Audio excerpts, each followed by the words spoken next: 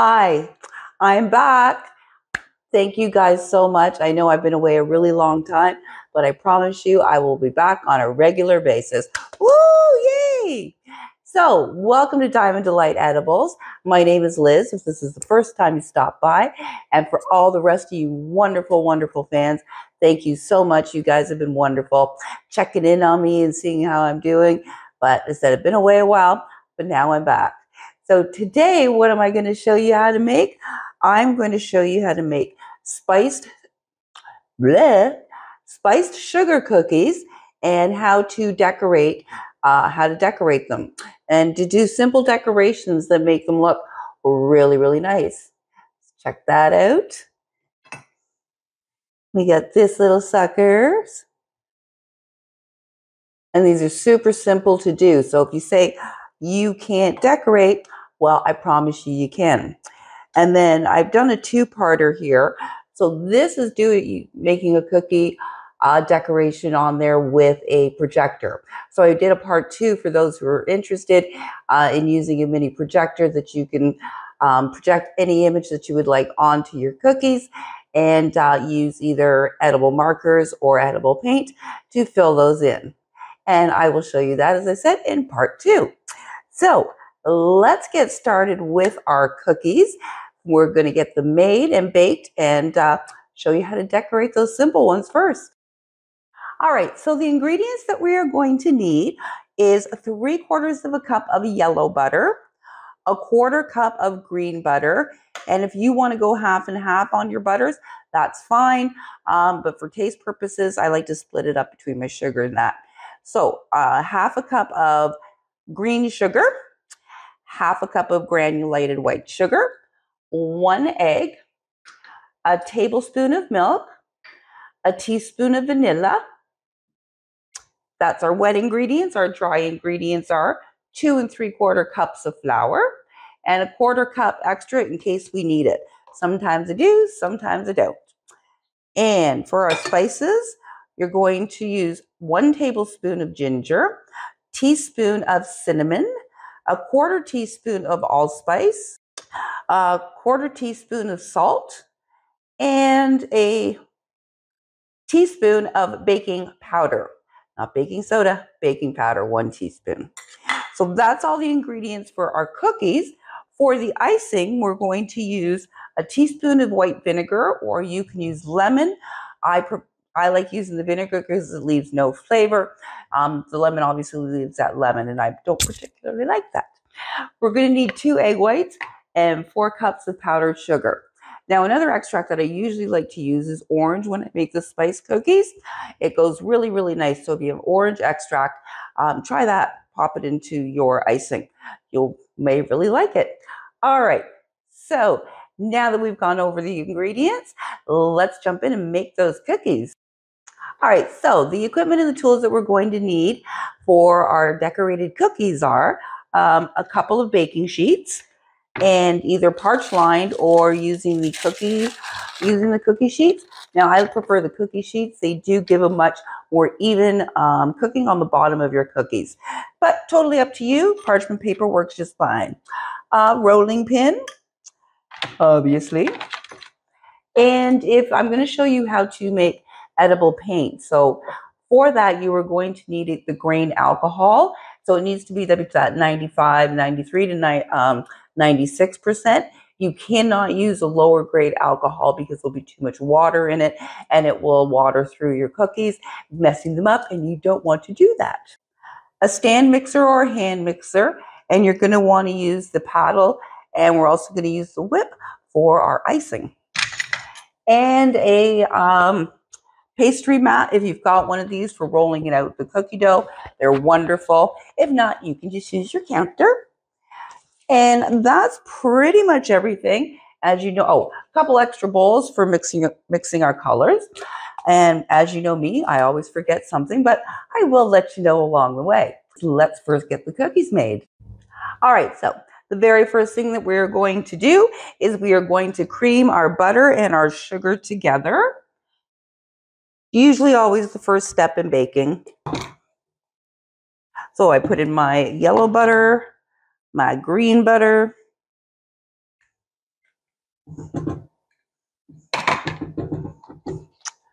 my green sugar, my white sugar, and we're going to put on the paddle and get that whipped together until it's a nice light color. You want to mix that together on medium. And um, you want to make sure partway through to scrape down the edges of your bowl.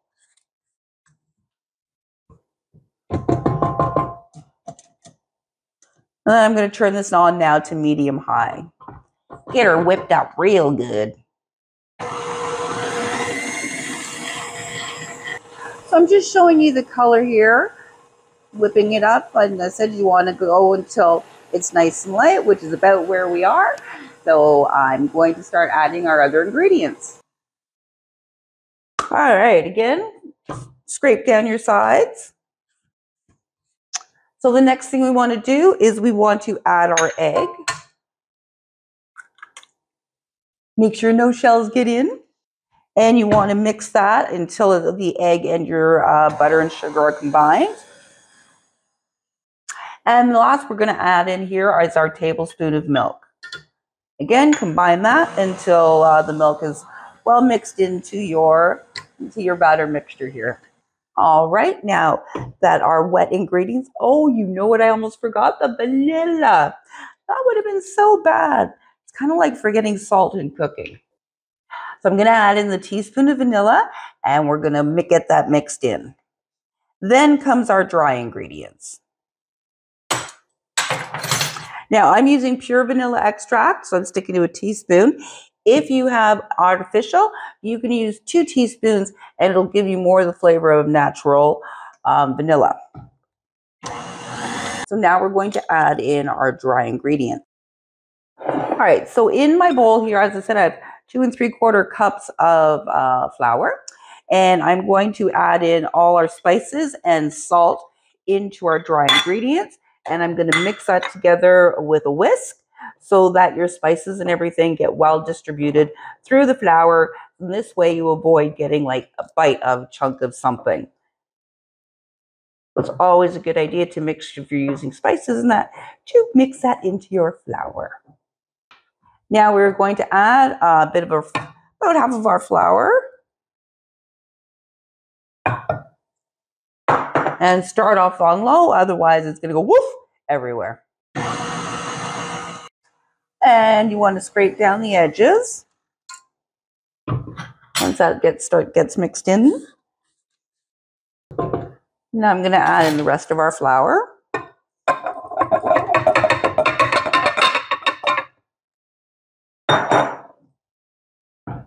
And again, start on low. Feels pretty good. Doesn't feel sticky. So, on to the next step. All right, so you can take your dough out of the bowl and just give it a little knead here. Form it into a circle-ish. Use a dough cutter, cut it in half approximately. Put one off to the side and we're going to roll this out. So you want to put a little bit of, sprinkle a little bit of flour on your work surface. Move it around so that way you don't get any big uh, flour spots. And we are going to roll this out, not to the full um, quarter because it's going to be too thin, it's too soft. So we're just going to roll it out about a half an inch. If the edges start coming apart like that, just squish them back together.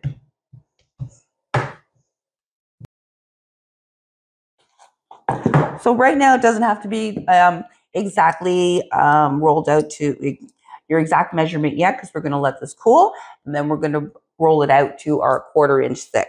So this is all I of these things make it really handy when you got to wrap up really soft cookie dough. Lay your saran wrap over the top. And then what to do is we take our little tray, our little mat here, and just flip her over. Peel her back.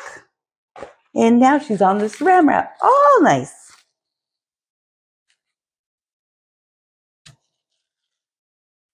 You want to make sure to make sure it's all covered up, covered well. I usually do at least two wrappings of um, saran wrap. Ooh. My words escape me. And I'm just going to put this onto a cookie tray that I'm going to slip into the fridge. And we're going, um, you want to put it in the fridge for about two hours.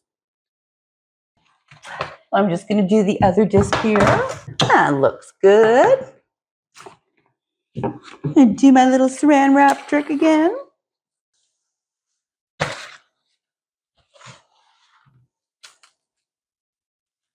Wrap her up real good. Because we do not want it to dry out. And pop that onto the tray. I'm going to put those into the fridge instead for two hours. And then when we'll be back, roll them out, cut them out, bake them, and then decorate. All right, so now it's time to roll and cut out our cookie dough. Uh, let me find those cutters. So I'm using, um, when I do the drawing ones um, to project the images, I like to use a bigger um, cookie cutter mm-hmm, um, to give you a bigger surface to work on. So this is about a two and three quarter square.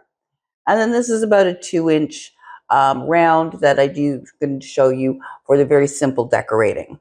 So first thing we're going to do, unwrap our dough.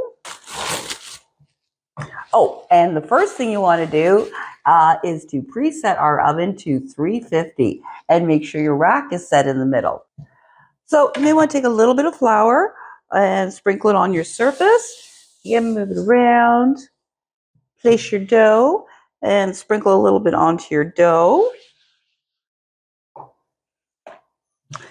And now we want to roll this out to a quarter inch. Now I use these what I call idiot-proof rolling pins. They have these discs on them of different, different measurements, and that way you get the exact measurement across your dough um, to be exactly what you want. So set, have it set to the quarter inch, and I'm going to start just working out my dough and getting her rolled out to a quarter inch. Now, one thing you want to make sure when you're rolling out your dough is that you don't press too hard because that will cause your dough to tear. So you want to use the weight of the rolling pin and just the heat and just gently roll and it will it will all roll nicely. But if you press down too hard, you'll find it, your dough will split on the edges. All right, so you'll know your dough is um, rolled out correctly and at the quarter inch all over. When you roll over and the pin just goes uh, directly over and you're not seeing any more dough being pushed out or any kind of bulges. Oh, we're good to go there. So I'm going to use my square one first. Not that you really care. And then you want to get something to be able to um, uh, pick them up with. So I just use an offset spatula remove the excess dough. Then you can just pick your, pick your cookie up. Oh, and put them about an inch apart on your cookie sheet. Ooh, these smell so good. And then just scoop up your dough. You form it into a ball here and roll it out again. Might need a little flour. Now I'm just going to use the round one.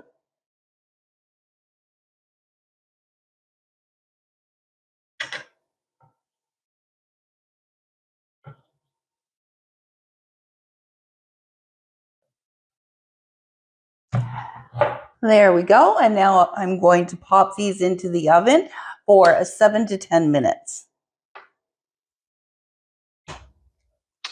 Because I have the bigger square cookies, I set it for nine minutes to start with. And we'll have a check on them. So you can just scoop up your excess dough and continue to roll out and cut more cookies um, or cut out your second sheet. I'm actually going to save it because I don't need that many cookies right now. So I'm just going to wrap that up well and I'm going to put it in the freezer and that way it can stay in there for up to a couple of months. Or if you're planning on using it in the next few days, just put it in the refrigerator. All right, so while our cookies are baking there, I'm going to make up the royal icing or start it. Um, so I added two egg whites to the bowl and a teaspoon of vinegar. Like I said, I like to use vinegar so I don't have any flavor from it, from like using lemon. And uh, you do not have any vinegar taste at all, promise. And I like to use the clear, um, the clear vanilla extract when I'm making this so that it stays nice and white. Add a teaspoon of that. Add our whisk attachment. And we're just going to beat our egg whites until they be, just become foamy. So you want your egg whites to look like, can you see that? Foamy? Yeah, like that. Oh, cookies need to be checked on. So they just still need probably about two minutes. So if you just tap them and they don't bounce right back, the centers aren't done. And we want the edges to be slightly, lightly brown. So they probably need about two more minutes. All right, so next step that we are going to take is we're just going to add all our powdered sugar to our egg mixture. I like to add half of it first.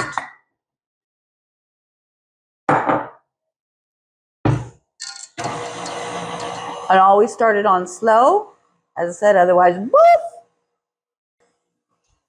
And you also want to then scrape down the sides. The powdered sugar always sticks to the sides. And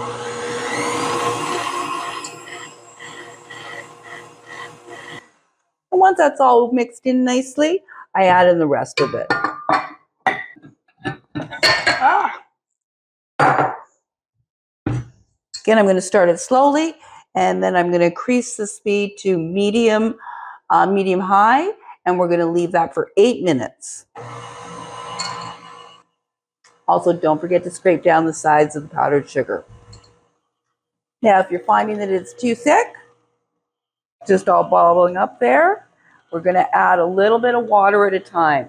So about a, tea, a tablespoon, one at a time. So, uh, so my icing's pretty thick. I'm going to show it to you here.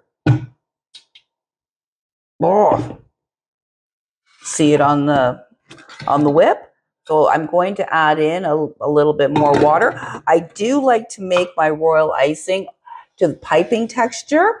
And then when I need to flutter, make it um, anything looser, then I'll add the water to it. But I always prefer having it uh, made to piping texture first. That's just my preference. So I'm going to add in one more tablespoon of water there. And I'm going to turn that up. So I'm just going to scrape down my sides one more time. And this is the texture that I like my um, royal icing to be at.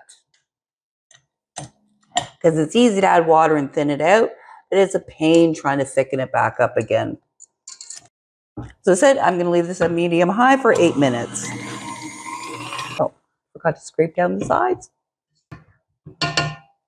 Yeah, that's really super thick. I'm going to add uh, just a little bit more water and we should be good. Let her go. Okay, so our cookies are baked here. They'll bounce back when you touch the centers. And there's light golden brown on our edges. So we want to let them sit on the um, tray for about 10 minutes and then we'll, we will move them to a cooling rack to finish cooling. All right, so our icing is ready. Very pretty. You want to smack off the, your, your blade there, your whipper. And I'm just going to transfer this to another bowl. Oh. See, that's like, that's piping texture. See where it completely holds its shape? So if you want to pipe designs or shells or anything like that, that's the texture you would want to use. So now I'm going to split it up. I'm going to do the three colors, our red, green, and yellow. So I'm going to put a little bit into each of these containers. You don't need too much, where I'm only doing a few cookies, so I don't need to use too much. And the leftover, kind of want to smooth it out. All right, so for your leftover, what you want to do is to take so your saran wrap and place it right down over flat onto the icing. This will prevent it from drying out. Make sure it's all well sat there and then use a second one to cover the top.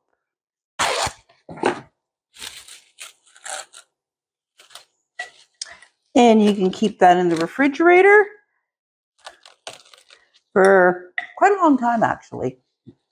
So now I want to thin these down so that we can actually, we're, well, the technique that we're doing is wet on wet. Anything out of the way. Okay, so I added a couple of tablespoons of water to my royal icing here and mixed it up. So you know it's a good flooding um, texture when you make a mark in it and it'll fill in in about five to eight seconds.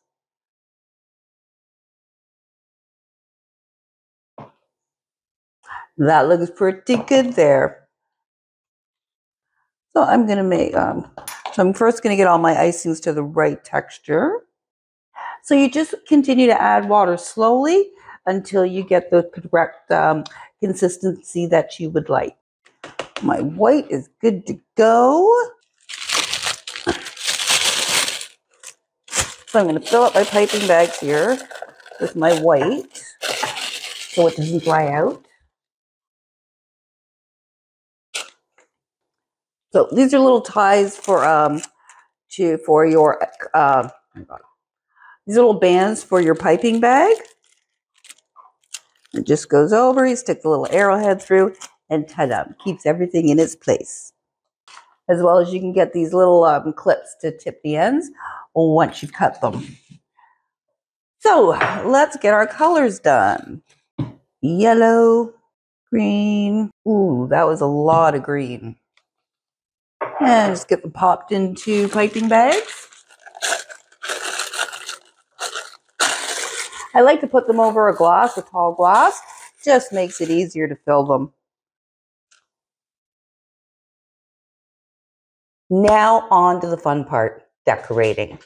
So I'm just going to move the camera so that you can actually see the decorating and see it up, up nice and close. All right, so we're all set up here. So what you're going to need is your um, the colors that you want in piping bags, a um, couple scribes, or like I said, you can use um, a bamboo bamboo skewers, and also teeny tiny paintbrushes. Um, again, brand new or ones that you dedicate specifically for baking. All right, let's make some designs. Ooh, take your cookie, put her on the little turntable. So I'm going to make the base white. So we're just going to make a circle around close to the edge. And then you just continue around your circle to fill it in. And don't worry about the little gaps because that is what the scribe is for. So we just fill in our gaps and then you can push it out a little to the side to make it even.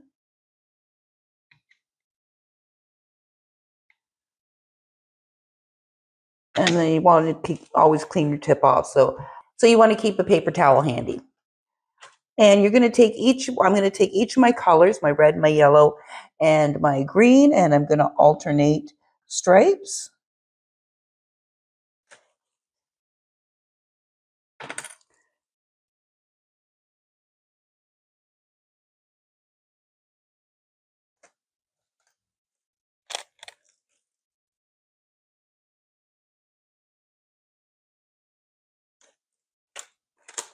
and you want to work pretty quickly. And this technique is called wet on wet.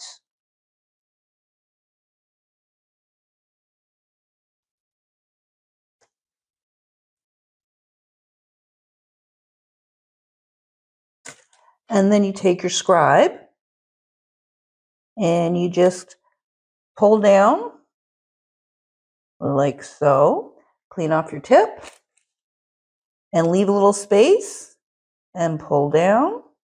Again, leave a little space, pull down.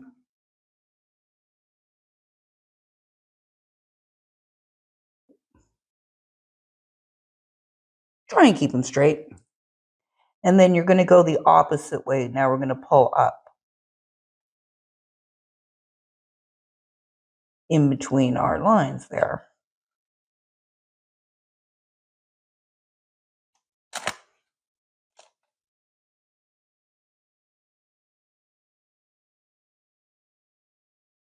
And there we have.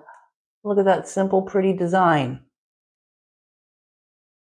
See, you can do that for all the people who are saying that I can't decorate, can't decorate cookies.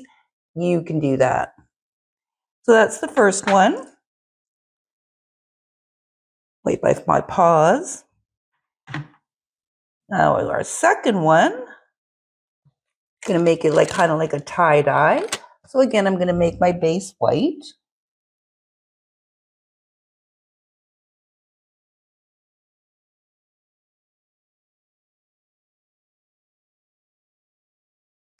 And this time you're just going to make some dots.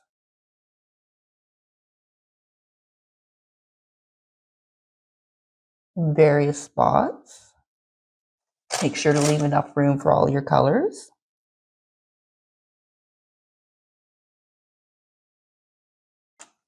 And then you just take your scribe and you just circle around. Drag all those colors into each other. Hey, look how simple that was. Like two seconds. Look how pretty that is. Now you can also do your background black.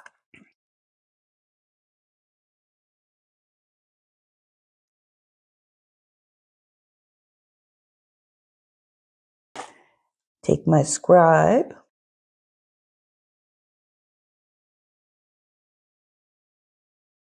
Then we can do the stripe technique again.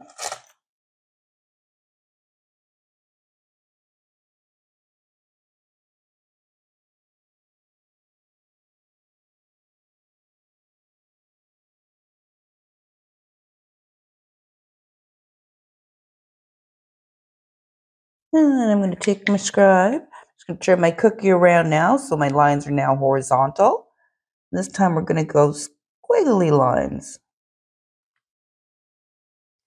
Do one down and then one up.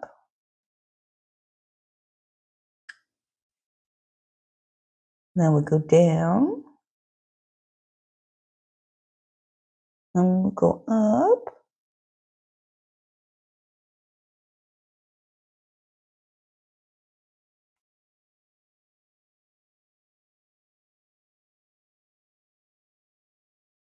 look how cool that looks. Ooh, I really like that one. All right. Now here's a cool design. It's kind of making like fire. So for this, we're going to use black, red, and yellow. And it said you're going to want to work fairly quickly. So I'm going to do about a third of the cookie red.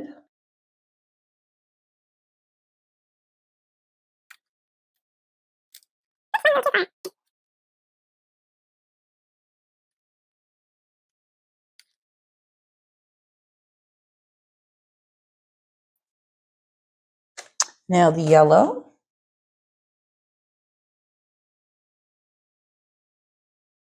You want to line it up right against the red.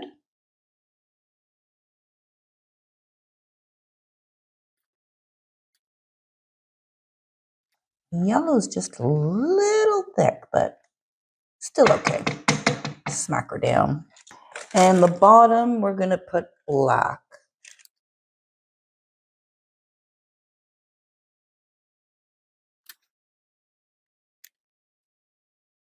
Clean off that drip.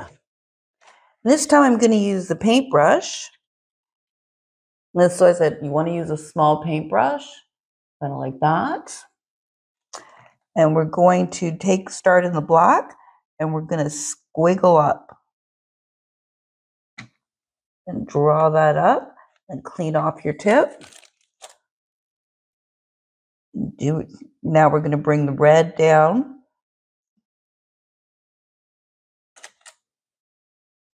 We're going to bring the black up again, kind of in between.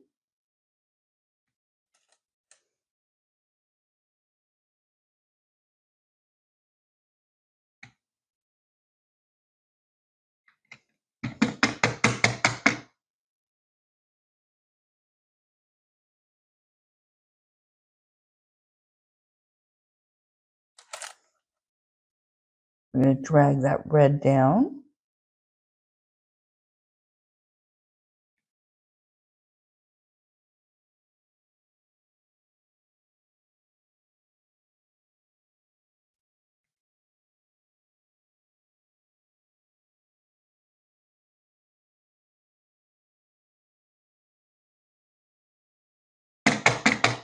I said, need to work quickly because the icing starts to dry and then it'll start to break, kind of break up a bit.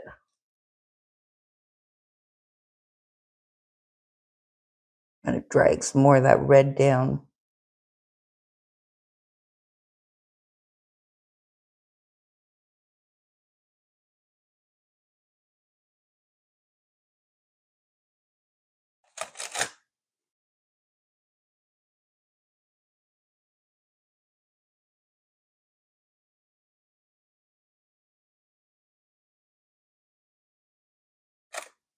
Dragging some of the yellow down into the block. I'm going to smack that out. I'm going to pull some of the yellow up into the red. I'm going to get a different, cleaner brush.